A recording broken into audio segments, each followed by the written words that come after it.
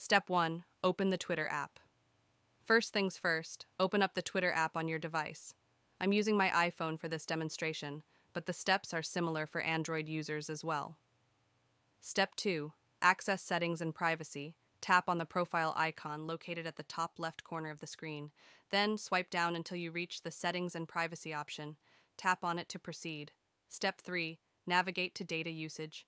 Now, scroll down again until you see the Accessibility, Display, and Languages section. Within this section, locate and tap on Data Usage. Step 4 Clear Media and Web Storage. Within the Data Usage menu, you'll find various options. Scroll down to find the Storage, aka Cache, section. Here you'll see options like Media Storage and Web Storage. To clear media storage, tap on Media Storage and then select Clear Media Storage. This will remove any photos, GIFs, or videos that are taking up space on your device. Similarly, you can tap on Web Storage and then select Clear All Web Storage to remove stored web data associated with Twitter.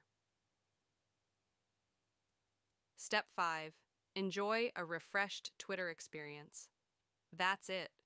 By following these steps, you've successfully cleared out unnecessary data from your Twitter app, ensuring a smoother and more optimized experience.